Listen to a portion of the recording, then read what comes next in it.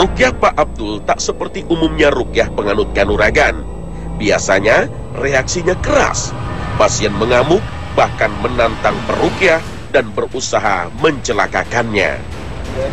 Namun, teknik rukyah yang diterapkan Ustaz Adam berusaha menenangkan pasien dan jinnya, lalu mengajak pasien untuk bertobat, menyesali perbuatannya.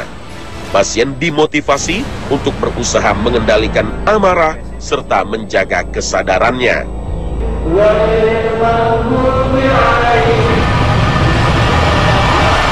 Setan sesungguhnya lemah. Meskipun penganut ilmu kesaktian yang dikuasai bangsa jin berusaha berontak, ia tidak kuasa mendengar bacaan Al-Quran.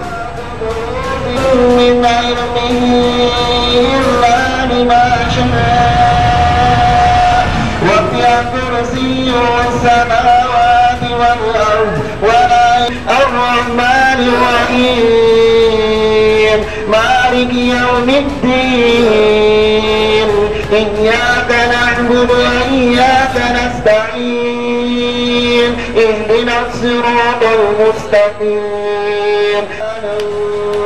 Dan ketika beberapa titik tubuh yang dijadikan persembunyian jin ditekan, langsung reaksinya kesakitan.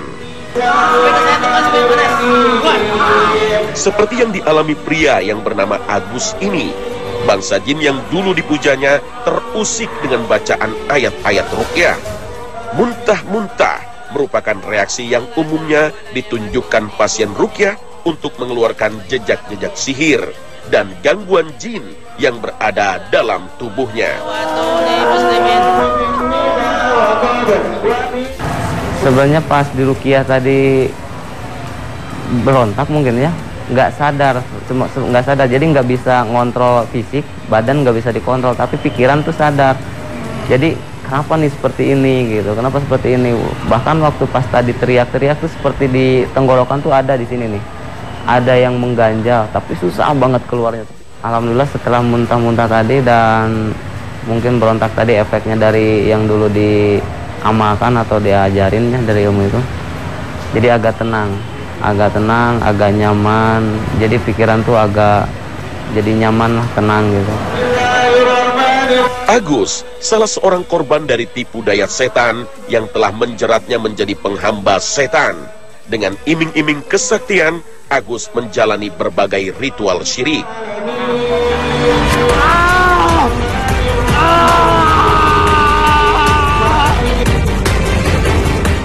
Seringkali para penganut ilmu kanuragan tidak sadar bahwa ia telah berbuat syirik.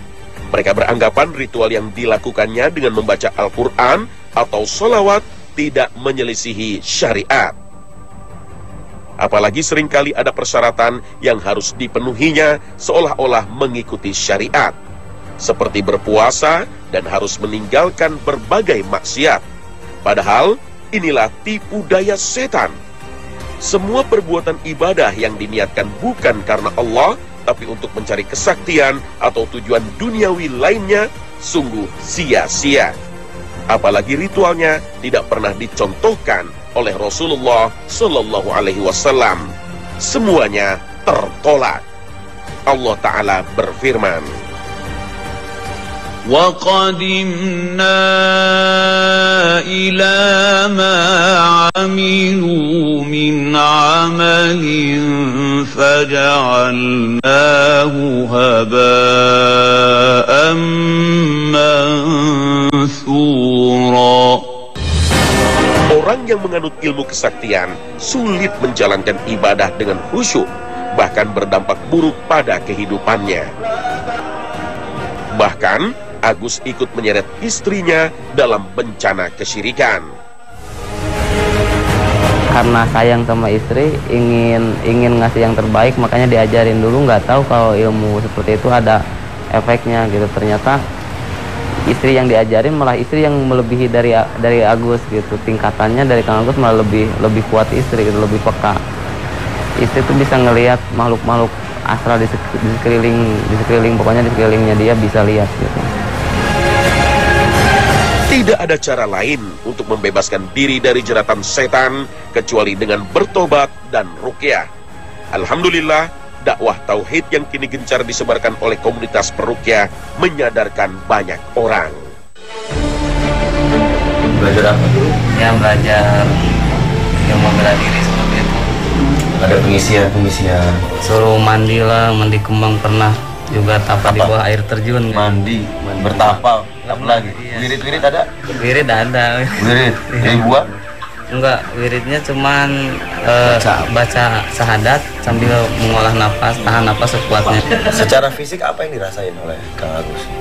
Efek jeleknya ya sama keluarga suka cekcok, Hmm. sering pengen bertengkar, pengen Panas cerai. hawanya. Itu iya. Hawanya mau cerai. Iya. Hmm. Jadi lebih ke gangguan emosi antara Kang Agus dan istri. Dan istri. Hawanya panas, maunya ribut terus. Betul. Mantra-mantranya atau jang jawabannya masih ingat? Masih bosan. Coba deh, kayak gimana sih mantranya? Eh, mantan seperti ini. Bismillahirrahmanirrahim. Mukaraning bayuwong sakaraning bulan Putri sering gerantik Sawara bagian ali nyaya Putra bagian ali teh siwasi kawaking Seperti itu. Itu. Terus ada lagi itu untuk eh, untuk untuk pengasihannya. Terus ada lagi untuk pengobatan kayak Bismillahirrahmanirrahim. Bungkul bungur bungkur pirai Katin saklebur katin yukurai Hurip pun nabi waras Allah La ilaha illallah Seperti itu. Terus ada lagi yang untuk kebatinan. Eh, Untuk kalau kebatinan tuh kayak si Maing, si Maung eh sebenarnya si Maing, si Maung urat urat aing, urat kawat Nah, gimana caranya? Rukyah Syariah tidak cukup membacakan ayat suci Al-Quran, tapi harus diawali dengan menyadarkan pasien tentang dosa syirik dan dosa-dosa lain yang telah dilakukannya. Coba istighfar dulu. Astagfirullah. Ya, hadirkan tobat di hatinya berulang-ulang istighfar. Untuk memburu ilmu-ilmu kesaktian. Ilmu-ilmu kanuragan. Yang tidak engkau ridhoi ya Allah. Hamba menyesal ya Allah.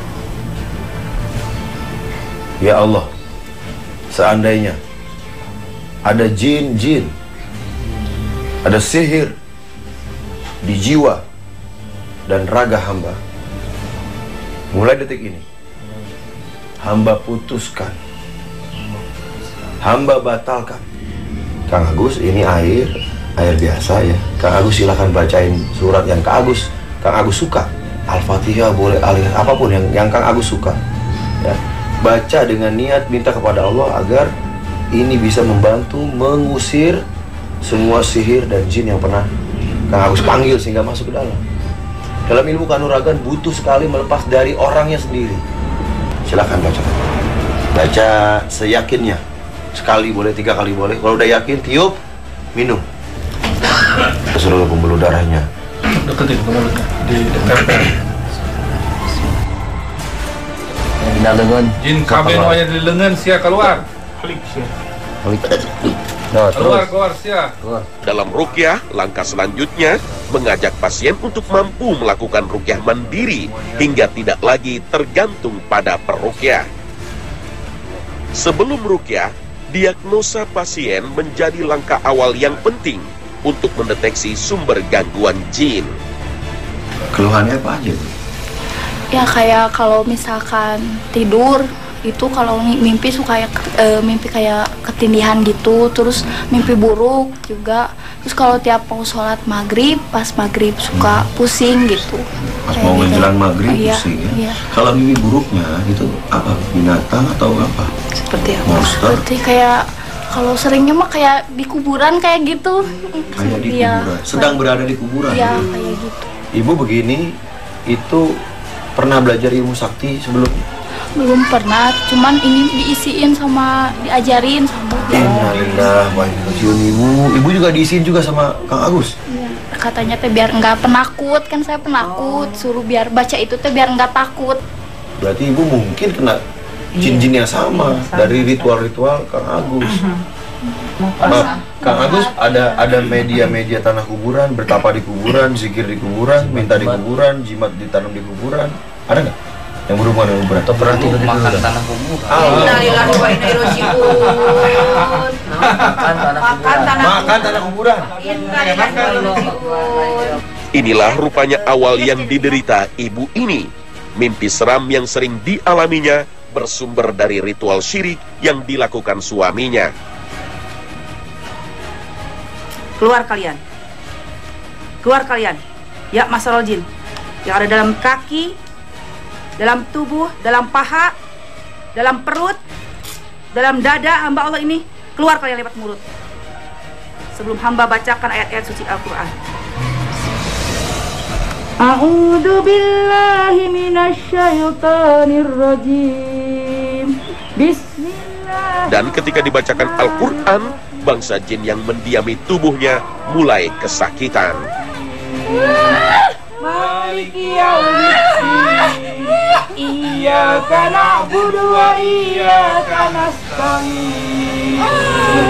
Bismillahirrahmanirrahim. Reaksi pun langsung terhubung pada suaminya karena memiliki sumber yang sama. Dalam rahim, dalam dada. Terapi rukyah sering kali berdampak kesurupan, ditandai turunnya kesadaran pasien, bahkan ada yang tak sadarkan diri. Ini bukanlah tujuan dari rukyah. Pasien sesungguhnya bisa dilatih dan dimotivasi untuk menjaga kesadarannya tanpa mengalami kesurupan.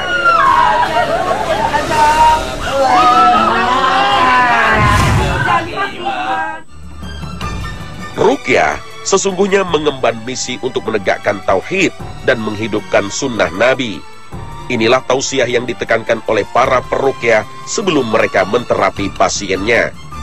Banyak gangguan jin dan sihir berawal dari kesirikan dan dosa-dosa kita, serta kelalaian kita untuk memohon perlindungan Allah. Karena itu, rukyah harus diawali dengan pertobatan. Terbukti sebelum memasuki sesi rukyah dengan bacaan Al-Quran, beberapa jamaah yang menghadiri rukyah masal di Masjid Al-Irsyad, Kota Baru Parahyangan, sudah bereaksi. Yang ini bisa menghancurkan seluruh buhul-buhul. Sihirnya hancur dan jinnya selamat semua. Minum.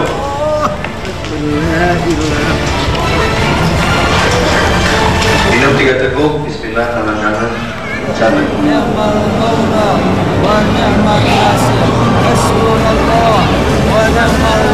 Dari belakang di rupiah ini sama sama dokternya pasien narik gitu dari depan. Sudah bertaubat. Naik ke mulut. Tangan tarik keluar. Aktif. Ya, Alhamdulillah Alhamdulillah alamin. Alhamdulillah Rabbil alamin. Ya Allah, Maha penyembuh Maha segalanya Allah. Allah, Maha pemberi alis masa ya Allah. Allah raja jaga makhluknya Allah. Sembuhkanlah orangnya. Allahu akbar, Allahu akbar. Illallah. Kalau kalau kita ke jinnya berarti Astaghfirullahaladzim Alladzi la ilaha illa huwal hayyul qayyum wa atubu. Sebelum Allah bongkar di hadapan seluruh makhluk di hari akhir nanti bertobat kita semua kepada Allah. dari dadanya keluarkan maksiat-maksiat kesombongan yang membuat kita menolak al-haq dan meremehkan manusia. Orang yang bertobat dengan sungguh-sungguh, setan dari bangsa jin yang mendiami tubuhnya mulai merasa kesakitan. Siapa pun kita bisa merukyah diri sendiri. Sementara perukyah hanya membantu memotivasi untuk selalu mengingat Allah dan berani melawan setan. Kemudian memperkuat mentalnya supaya tidak kesurupan dan dikendalikan jin. Bahkan dalam berbagai training rukyah yang dipandu Ustadz Adam Amrullah, jamaah dimotivasi untuk menjadi perukyah dengan mempelajari berbagai teknik rukyah sederhana. Beberapa jamaah yang menghadiri rukyah masal biasanya menderita gangguan jin atau sihir yang berat. Bismillahirrahmanirrahim. Bicara sama saya, saya pengen ngobrol. Ini jin siapa ini? Saya doakan ya, biar bisa keluar ya. Mau? Mau? Gimana kamu nikah? Gimana? Saya bantu. Di mana? Di rahim. Iya. Bu, maaf bu, ini dia di rahim. Mengakunya. Coba ibu tuh letak. Letaknya boleh. Letaknya. Dan ketika mulai kerasukan, ia tak sadarkan diri apa yang dilakukannya. tarik, tarik, buang sejauh-jauhnya. Tarik, buang. Dalam terapi rukyah, diagnosa adalah langkah awal untuk mengetahui gangguan jin, gangguan psikologi semata, atau justru gangguan sihir. Saya mau sini ya. Ya, dibantu, dibantu. Bangsa jin yang merasuki seseorang terkadang tak bisa diajak berdialog.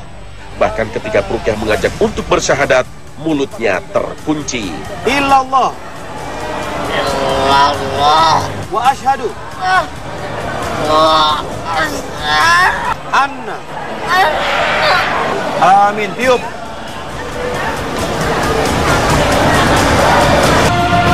Perukyah adalah seorang dai. Dia harus berjuang untuk menyadarkan bangsa jin yang zalim, kemudian mengajak pasiennya untuk bertobat dan membersihkan hatinya dari berbagai emosi negatif. Karena inilah pintu-pintu setan. Orang yang lalai berzikir pada Allah Ta'ala, maka dengan mudah setan menguasainya. Sebagaimana firman Allah Ta'ala. ومن يعش عن ذكر الرحمن نقيض له شيطانا فهو له قرين Tiba-tiba, seorang ibu yang tengah dikuasai jin menantang Ustaz Adam. Setan ingin menunjukkan kesombongannya. Namun ingatlah, setan sungguh lemah. Ini tenaganya keras. Mundur semua, mundur. Eh, satu Iwan, Kang, di dia Kang. Maaf, maaf, ini tenaganya agak gede, jadi... Hai, Iya, siapa kamu? Jafar, Jafar, ngapain di sini? aing dititah maihan. Apa artinya? Iya disuruh matiin. Oh, suruh mati. Sama siapa? Puasa teriak-teriak pelan aja. Sama siapa? Siapa yang nyuruh? Gunungan aing. Gak takut? Dasir. Aing geus nyieun bangkrut usaha. Wah. Ketika orang yang kesurupan susah disadarkan dengan dipanggil namanya, Rukyah mengancam jin dengan bacaan Keluar, ya. ayat suci Kalau nggak keluar, Al-Quran dan kamu bisa berusaha menekan bagian Keluar. pembuluh darah besar Jafar, seperti di leher sebagai peringatan. Keluar, keluar, keluar, keluar. Keluar, keluar, keluar. Keluar. Keluar.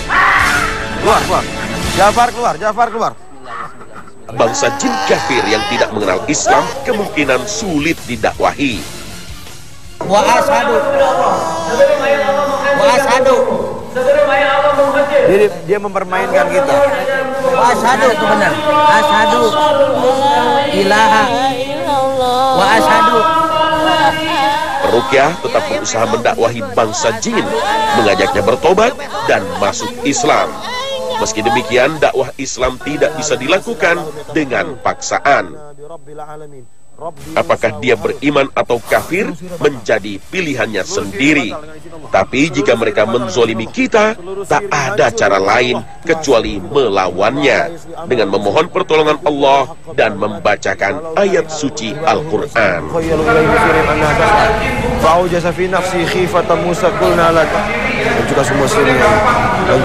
Inilah penderitaan yang dialami pasien korban dari kejahatan sihir ketika mulai menyerangnya. Perutnya membesar dan rasa sakit begitu menyiksanya. Dengar pedangnya? Berbagai kasus santet sering terjadi di negeri ini dan menyerang saudara-saudara kita. Sayangnya, tak ada sanksi, tak ada hukum di negeri ini yang bisa menjerat pelaku kejahatan santet. Padahal, dalam syariat Islam, mereka pantas dihukum mati. Lalu, relakah kita melihat para dukun yang berkolaborasi dengan setan bebas berkeliaran di sekitar kita?